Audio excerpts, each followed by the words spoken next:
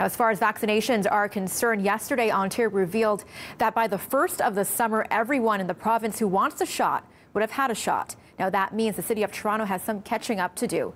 We go live to Maleeha Sheikh, who's looking at how the city hopes to accomplish just that. Maleeha. Melissa, the city of Toronto has been criticized repeatedly over its slow vaccine rollout. Today, it's trying to pick up the pace with help from healthcare partners. 15 clinics have been set up across Toronto, including one here at Humber River Hospital to administer COVID 19 vaccines to priority groups over the weekend. One Toronto resident we spoke with says the city needs to do a much better job and move quicker. I wish I was getting a, a the vaccine yesterday. 70 year old James Breckenridge has a number of health issues, including heart troubles, obesity, and emphysema. He's worried about getting COVID, especially because his son, who he sees frequently, is getting tested due to possible exposure to a confirmed case. Breckenridge has to wait until at least next month for his turn to get vaccinated. If I end up getting COVID from my son because of what's happened in this chain reaction over the last week, I, am not going to be very happy.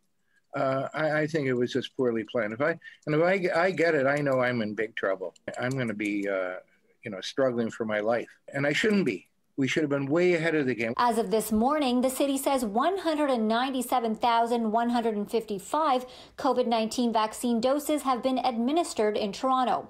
While the city's clinics are not ready yet, currently a number of hospitals and community healthcare centers are vaccinating priority groups, including residents 80 years and over. Infectious disease specialist Dr. Isaac Bogoch says he wants to see more vaccinations being done, and soon quite frankly, they have the capability, they have the facilities, they've got the staffing, they're ready to go. I think the two missing ingredients right now is a centralized sign up tool and also the vaccines. We need the vaccines to show up. As vaccine supply for the general population becomes available, the plan is to set up more than 350 clinics, including pharmacies and mobile clinics across Toronto. As for a website, the city is waiting to join the province's online vaccine booking system, which is set to go live on March 15th.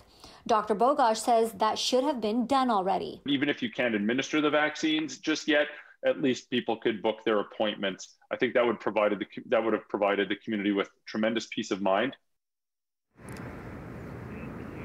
The city says six city operated immunization clinics have been physically set up, and all nine will be ready to go on or before April 1st. And once they are fully operational, it's estimated that at least 130,000 vaccine doses will be administered weekly from these sites.